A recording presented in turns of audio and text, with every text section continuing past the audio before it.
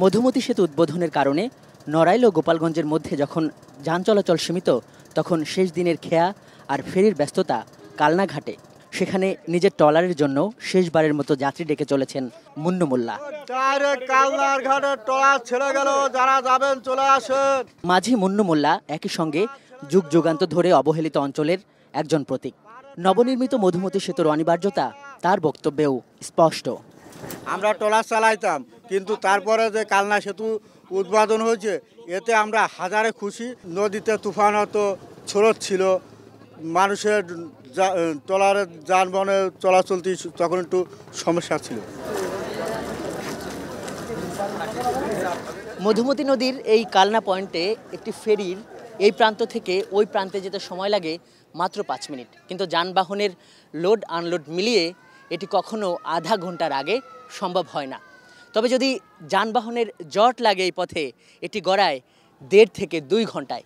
কিন্তু এই সেতু হয়ে যাওয়ার পর এই দূরত্ব কমে আসবে মাত্র কয়েক মুহূর্তে। প্রধানমন্ত্রীর উদ্বোধনের পর তাই মানুষের আগ্রহেরও বাদ ভাঙল মধুমতি সেতুতে। পায়ে হেঁটে দৌড়ে তাদের এই দলবদ্ধ পদচারণায় ছিল তৃপ্তি আর স্বপ্ন পূরণের উচ্ছ্বাস।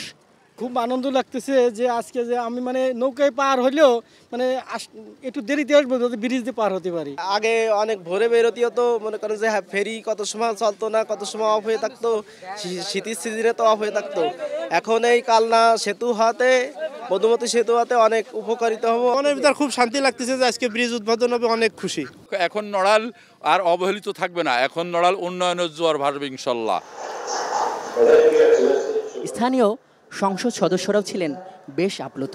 তাদের ভাষ্য নতুন করে আরেক ধাপ উন্নয়ন সূচিত হলো এই জনপদে। পদ্মা সেতুর হওয়ার কারণেই আমাদের যথেষ্ট আমরা সুবিধা ভোগ করছি।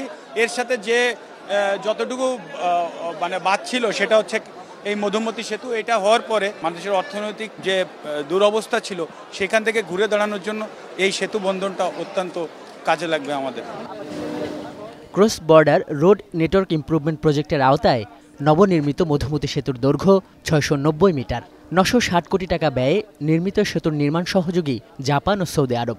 ধনুকাকৃতির নির্মাণ শৈলীর এ সেতুতে ব্যবহার করা হয়েছে একশো পঞ্চাশ মিটার দীর্ঘ স্টিল স্প্যান। আওয়ামী লীগ সরকারের রাজনৈতিক অঙ্গীকার এ সেতু জনতার জন্য খুলে দেওয়ার পর ঢাকার সঙ্গে দক্ষিণ পশ্চিমাঞ্চলের দূরত্ব ঘুচল আশি থেকে একশো আশি কিলোমিটার। আজহার লিমন, এখন নড়াইল।